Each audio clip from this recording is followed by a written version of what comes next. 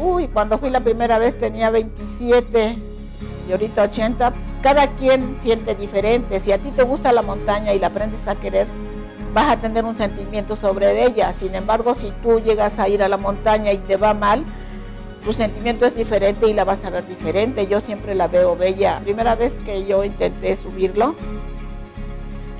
iba yo con mucho peso. Y eso probablemente me agotó. Llegué a subir como hasta, las dos veces como hasta 4100 metros, no más. Pero no es la altura así. Allí la altura, eh, bueno, es, como muy largo e, era como subir a listas igual. Subes una loma y dices, ay, ya va a estar lo parejito.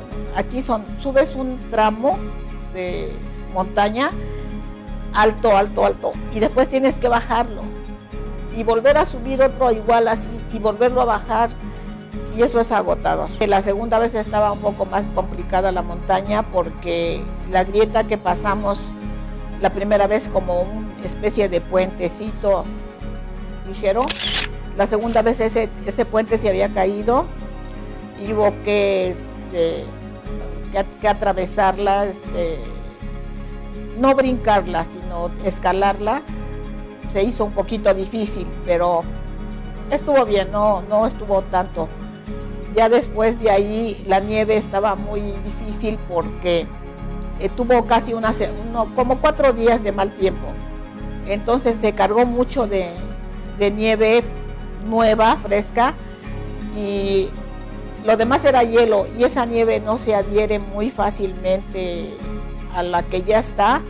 Entonces había que ir a prisa y con, mucho cuidado, aparte de a prisa, con mucho cuidado, porque había peligro de avalanchas. Yo transpiro mucho, demasiado, ¿no? Entonces yo creo que perdí mucho líquido y me sentí débil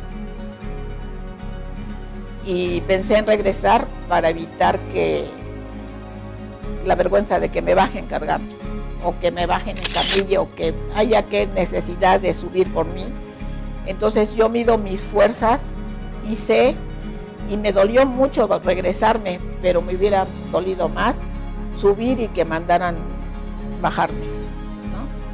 Las veces que me, que me he regresado, eh, que han sido pocas, pero bueno, las veces que he tenido que regresarme, no me he sentido mal porque me he regresado cuando ya he echado lo máximo.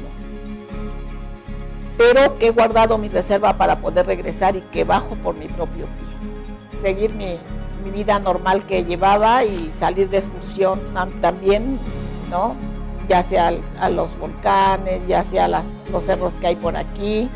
Hay mucha gente que que ya no quieren ni siquiera, se paran y, no se quieren ni bañar porque no quieren, no van a salir o cosas así, que salgan a caminar aunque sea allí en las manzanas de su casa a darle vueltas, ¿no? O que tomen el metro y que se vayan al centro de la ciudad, o sea, que no se queden quietas en su casa sin hacer nada.